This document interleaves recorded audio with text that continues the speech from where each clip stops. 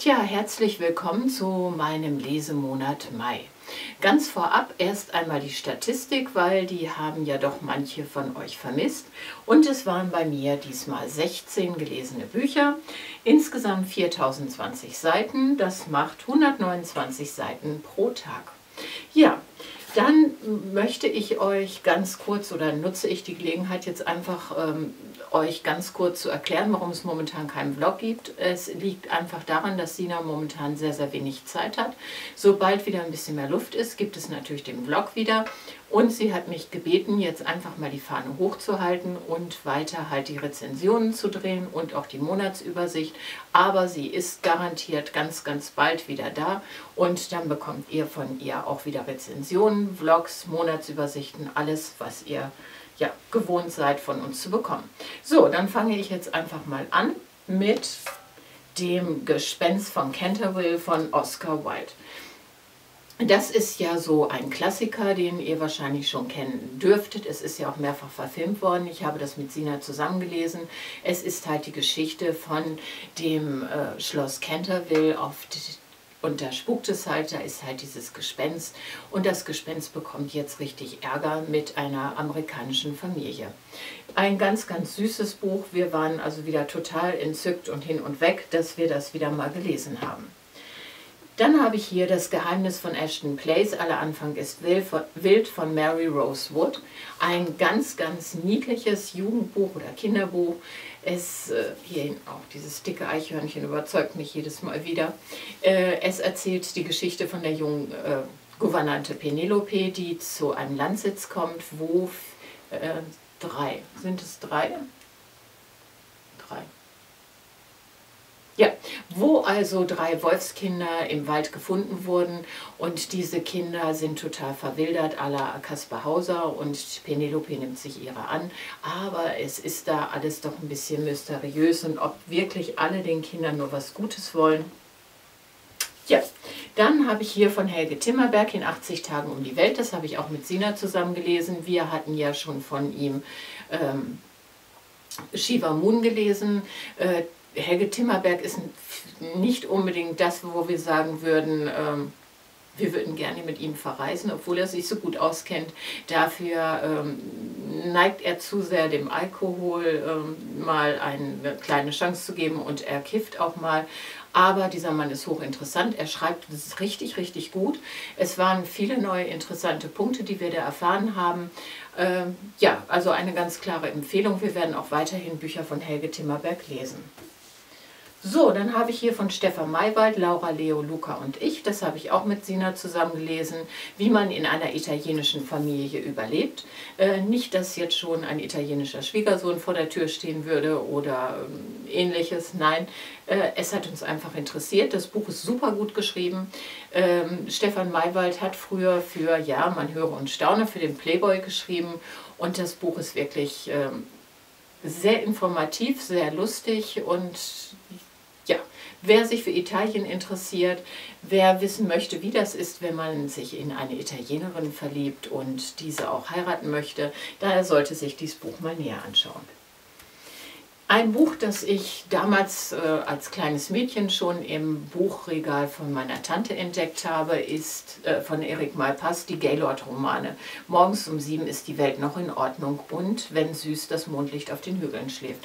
Wir haben den ersten Teil zusammengelesen, waren am Anfang auch total begeistert von äh, Gaylord und seiner Familie, aber das Buch wird zum Schluss doch sehr melancholisch, sehr tiefsinnig. Ähm, es geht um Tod, ähm, Depressionen und darum auch, wie man älter wird. Der Junge wird auch zusammengeschlagen. Ähm, ja, es ist also nicht dieser heitere Roman, so wie das von außen aussieht. Es wird doch schon ein bisschen äh, ja, trauriger, herzergreifender, wie immer man es nennen möchte. Also jedenfalls ist uns zum Schluss das Lachen im Hals so ein bisschen stecken geblieben. Dann habe ich hier von den mysteriösen Schwestern Christy Spencer und Tabitha Lee Spencer Dark Angel Summers, der erste Teil, das Versprechen. Dazu findet ihr schon eine Rezi im Netz. Äh, das Buch hat mich begeistern können. Es ist wirklich ganz entzückend geschrieben. Die beiden Schwestern ist es ja ein Pseudonym. Äh, dahinter verste versteckt sich Susanne Hanecker und ihre Schwester Beate Theresa Hanecker. Die beiden sind ja schon sehr erfolgreiche Schriftstellerinnen. Das ist jetzt ihr erstes gemeinsames Werk. Die beiden schreiben auch wirklich einen sehr interessanten Blog. Sie sind bei Facebook auch vertreten. Schaut mal bei den beiden rein. Es lohnt sich. So, Silke Schütze, Erdbeerkönigin. Das Buch hat mir sehr, sehr gut gefallen. Es ist die Geschichte von einer ehemaligen Erdbeerkönigin, die ähm, ja, aufgefordert wird, für ihre erste Liebe oder ihren ersten Schwarm eine, ähm, ja, die Beerdigungsrede halt, die Trauerrede zu halten. Leider hat sie überhaupt gar keinen Kontakt mehr zu dem Mann gehabt. Sie weiß überhaupt nicht, wer ist er geworden, wie hat dieser Mann sich entwickelt. Es ist eine spannende Entdeckungsreise, nicht nur nach ihm, sondern auch zu sich selber. Von Tessa Hennig, Emma verduftet. Ja, dieses Buch äh, habe ich auch sehr, sehr gerne gelesen. Ich war am Anfang allerdings sehr irritiert, weil das Buch sieht ja so nach Camping aus hier. Emma, die etwas füllige, ähm, ja, sie sieht halt ein bisschen langweilige Rentnerin, die sich hier in ihrem Schlauchboot davon macht. Hier dieser Campingwagen auch.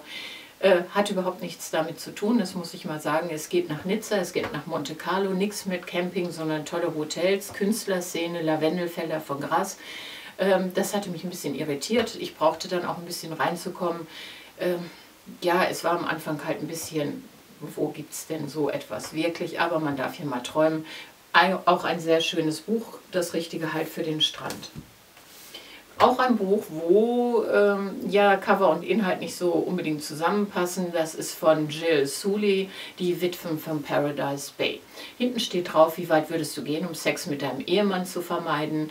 Ähm, ja, es verspricht halt, so wie es aussieht, eine lustige Frauenkomödie zu sein. Ich fand das gar nicht so komisch, äh, denn die eine Witwe ja, es sind nicht alles Witwen, sage ich es einfach mal so. Ihr bekommt aber dazu noch eine Rezension.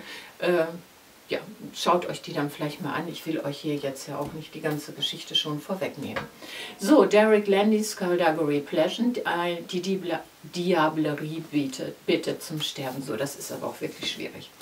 Ähm, ja, wer diesen Detektiv noch nicht kennen sollte, dieses Skelett, lebendes Skelett und seine kleine Assistentin, die Valkyrie Unruh, der sollte sich die Bücher unbedingt mal anschauen. Sie sind sehr lustig. Es ist trockener, schwarzer Humor zum Teil.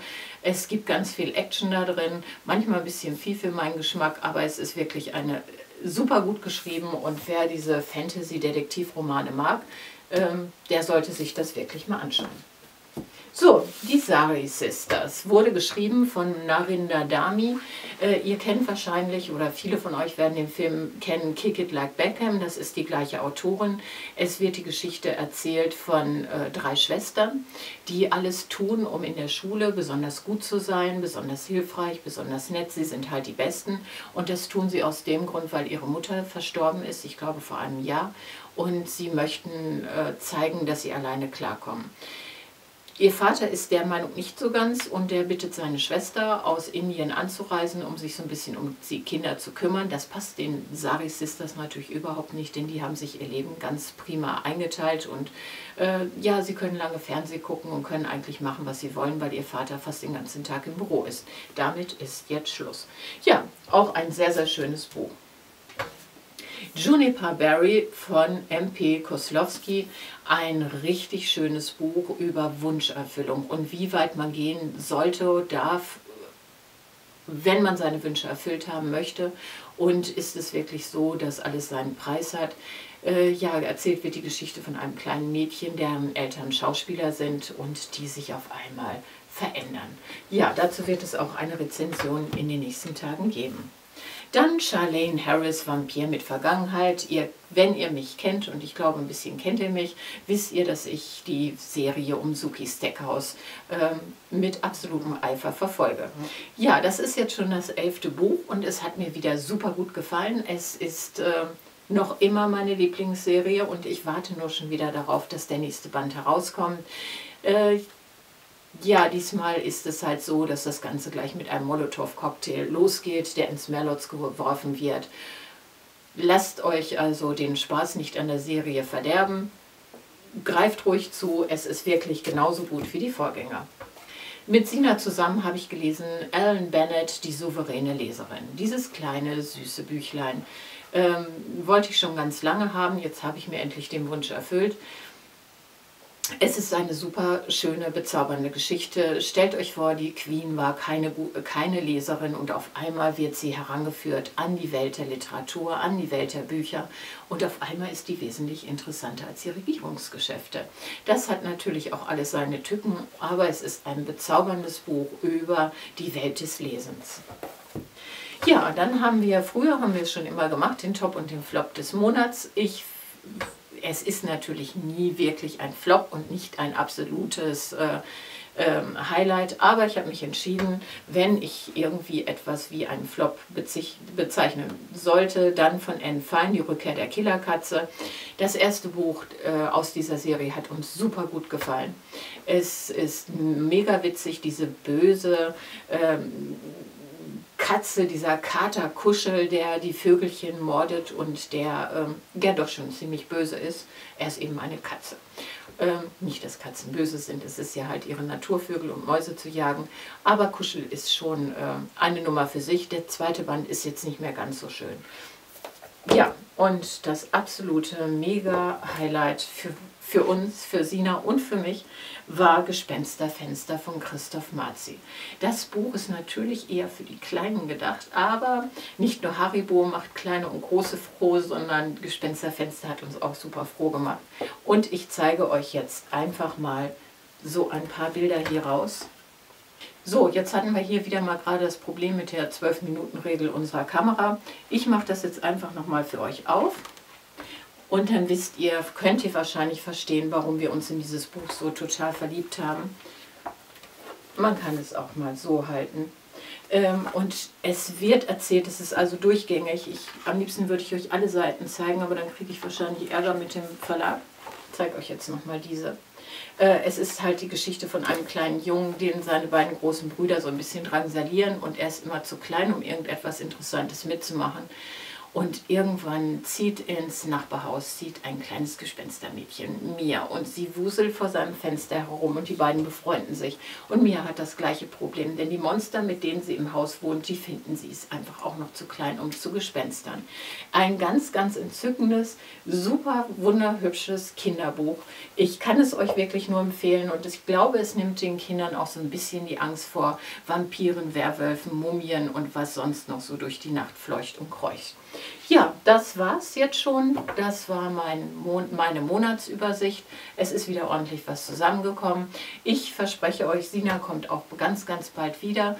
Ähm, ja, genießt den Sommer, erfreut euch am schönen Wetter, das ihr hoffentlich habt und ja, bis bald.